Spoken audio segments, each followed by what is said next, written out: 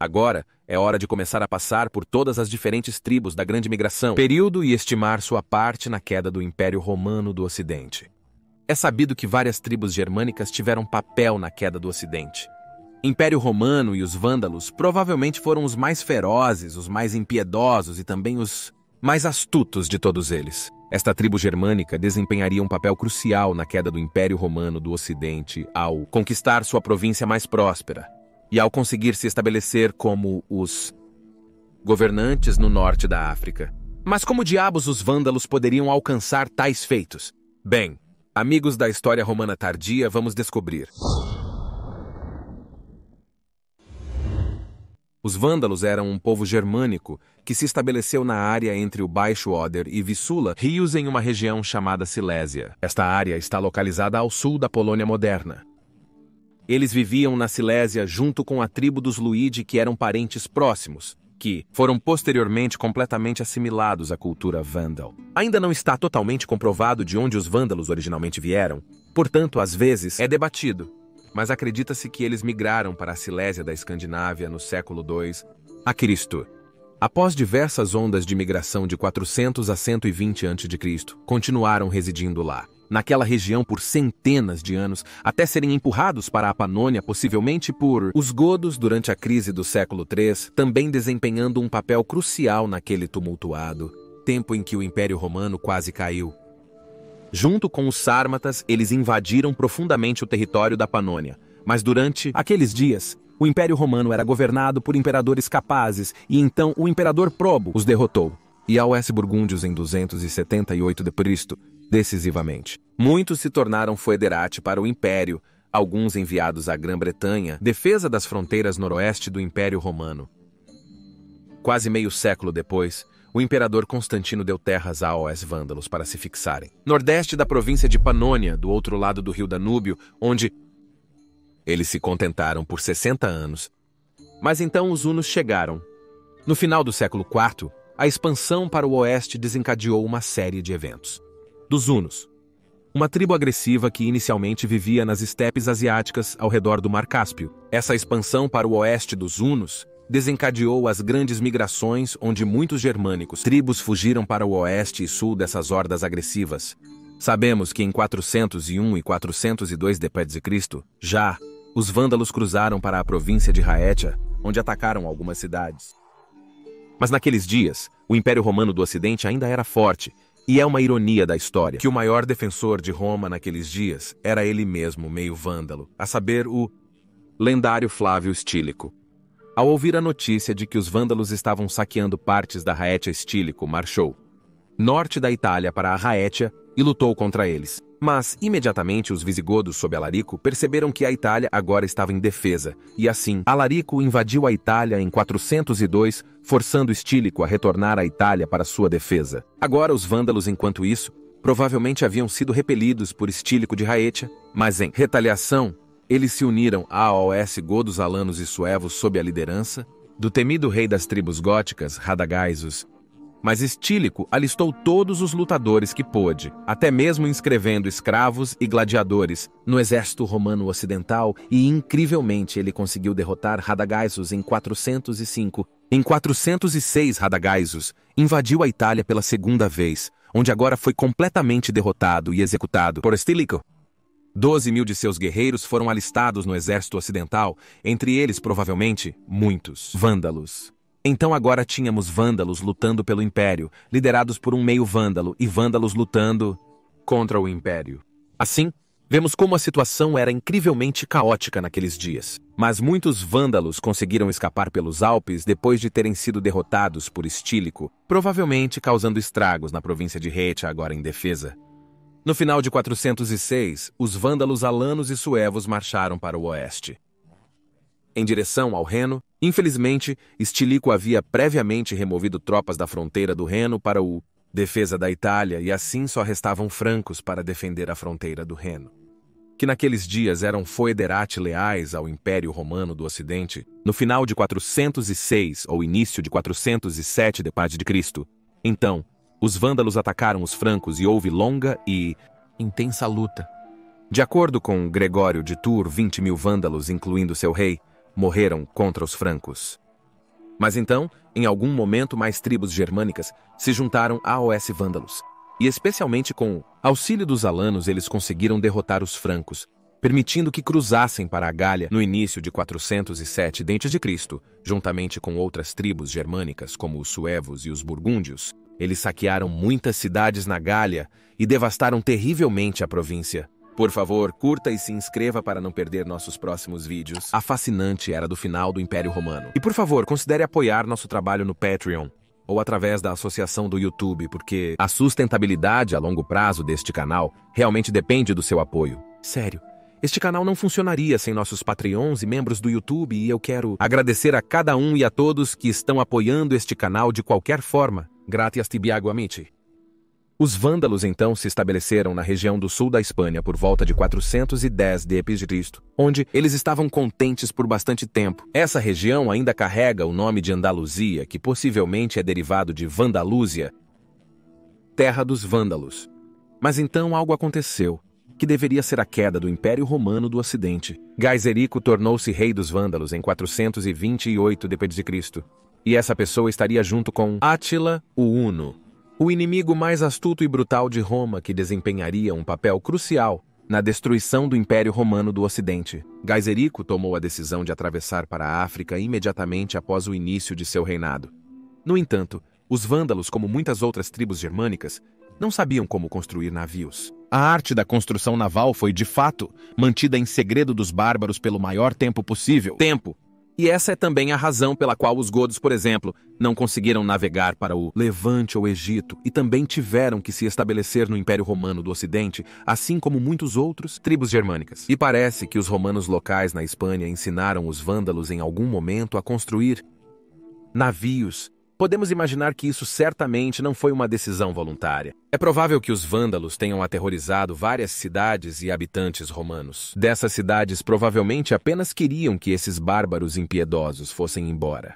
Então foram os próprios hispano-romanos locais que ensinaram os vândalos a construir navios, para que eles então pudessem atravessar o Estreito de Gibraltar para a África em 429. E então, no decorrer de 10 anos, eles conseguiram conquistar toda a província romana ocidental da África. Como eles poderiam fazer tudo isso? Estima-se que toda a sua população era de 200 mil entre as muitas mulheres e crianças. Então seu exército não ultrapassaria 50 mil homens mas milhões de romanos viviam na Espanha e na África. Bem, a resposta para isso é que os romanos estavam, como sempre, ocupados lutando entre si. Era usurpador contra contra-usurpador. Era imperador contra usurpador.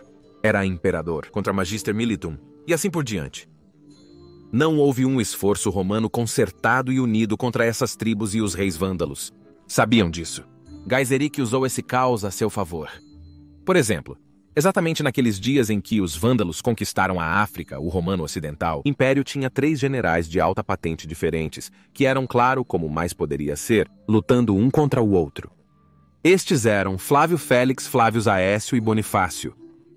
Mas apenas Aécio sobreviveria a este conflito. E foi exatamente porque, novamente, no mais crucial momento, os romanos estavam envolvidos em guerra civil, que os vândalos conseguiram conquistar a África. E aqui novamente os vândalos tiveram ajuda. As tribos berberes locais viram sua chance de recuperar a liberdade dos romanos. Então, portanto, muitas tribos berberes se juntaram ao S vândalos e os ajudaram ativamente, até mesmo se juntando ao seu exército. Mas a população romana local, mesmo sendo muito maior em número, consistia principalmente de civis e não de um exército treinado. Ainda assim, os vândalos frequentemente encontraram forte resistência e muitos deles morreram nesses 10 anos africanos. Conquista! Por exemplo, a cidade de Iporígio, onde Agostinho de Hipona vivia, foi tomada apenas depois de 14 meses de luta amarga. Apesar de uma trégua com os romanos sob Valentiniano III Gaiserico, então capturou Cartago em 439. Assim, o reino dos vândalos foi estabelecido na África, e para todos aqueles que pensam que isso foi um acordo pacífico, eu falei extensivamente sobre as atrocidades que os vândalos e outras tribos germânicas cometeram nessas conquistas. Neste vídeo aqui, com a perda da África, um golpe devastador foi desferido no Império Romano do Ocidente, porque essa era uma província rica. Então, uma quantidade incrível de receita fiscal foi perdida e também o, a principal fonte de grãos para Roma não existia mais. Assim, a população da cidade de Roma começou a diminuir depois que a África foi conquistada por os vândalos.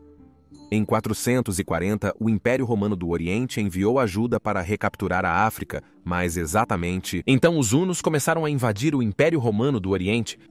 É muito provável que Gaiserico tenha enviado emissários a OS Hunos e lhes disse que os romanos haviam retirado muitas tropas do Oriente e que seriam um alvo fácil. E de fato foi exatamente isso que aconteceu. Os hunos atacaram, forçando os romanos do leste a recuar sua frota mais uma vez, deixando os romanos do oeste para lutarem sozinhos. Após as mortes de Aécio e Valentiniano III, o Império Romano do Oeste entrou em caos. Em ainda mais caos. E claro, todas as tribos bárbaras imediatamente aproveitaram essa situação para sua vantagem, expandindo grandemente seus domínios. Mas os vândalos, é claro, Novamente roubaram a cena, superando tudo com sua astúcia, brutalidade e impiedade. Gaiserico aproveitou a oportunidade e saqueou Roma em 455, mas esse saque foi muito mais minucioso do que o saque visigótico de 410. Por duas semanas, os vândalos saquearam a gloriosa cidade, e depois que terminaram com ela, a glória de Roma estava muito diminuída. Então, em 460, o heróico imperador Magorian tentou reconquistar a África dos Vândalos para o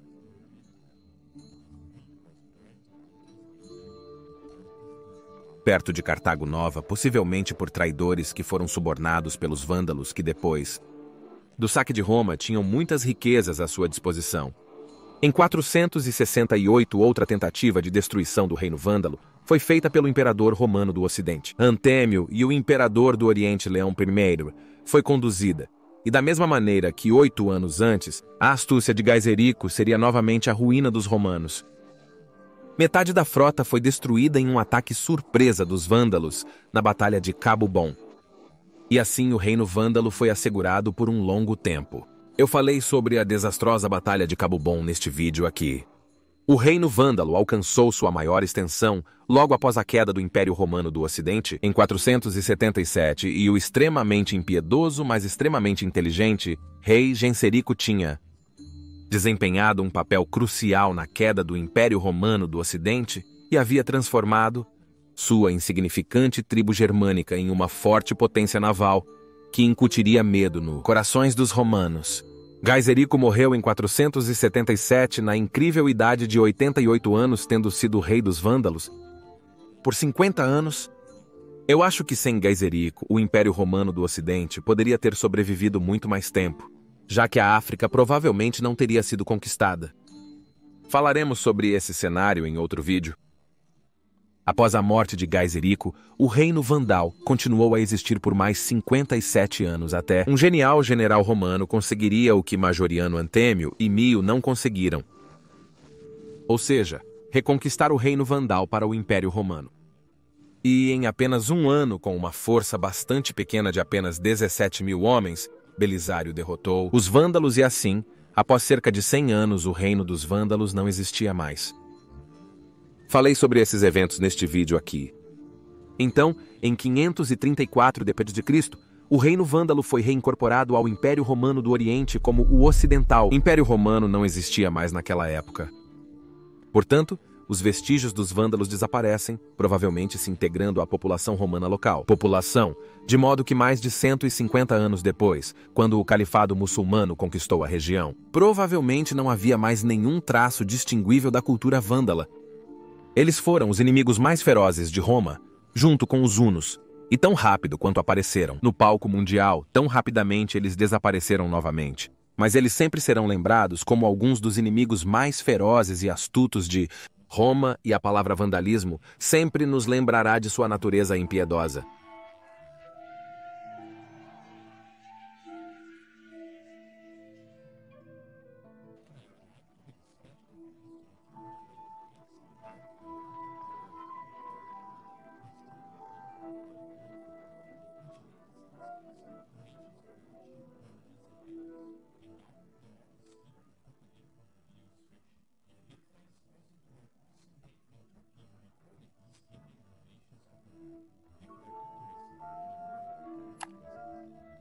Eu agradeço novamente a todos os amigos da história romana. Gratias Tibiago e Benevalete.